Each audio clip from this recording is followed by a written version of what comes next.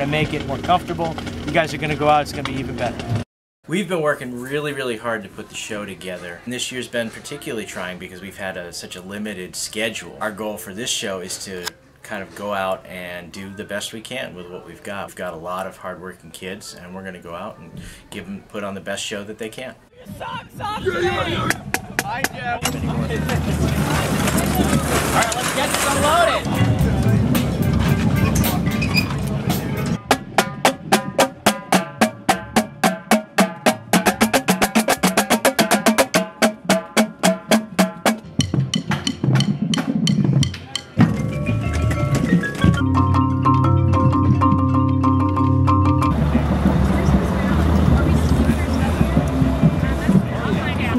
Head doesn't go down or up during any of that, okay?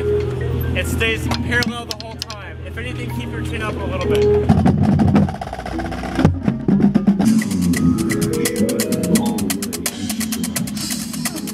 We would not be where we are right now without the work that you guys put in the last two rehearsals. I think you got a great shot to go there and do well. If you can go in there and be confident and not let the adrenaline affect this, then you're going to have the chance to go in and perform well and play well. We don't want one by itself. We don't want to go in there and overperform, right? We want to do both. So it's about getting in there, controlling the adrenaline, performing, but using your head and being smart.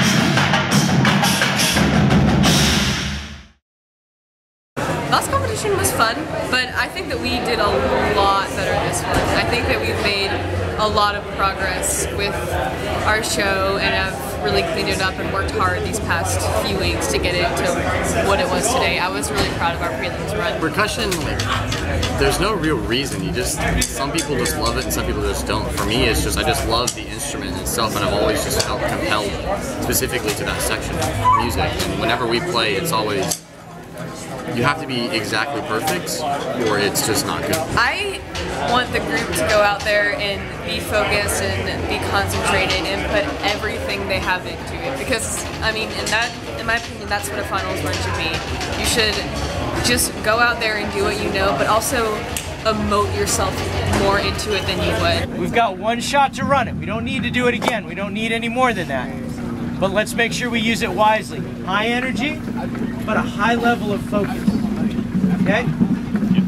Yes, sir. Yeah. yeah. One time, let's do it.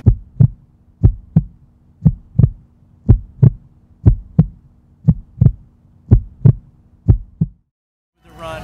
The run was fantastic.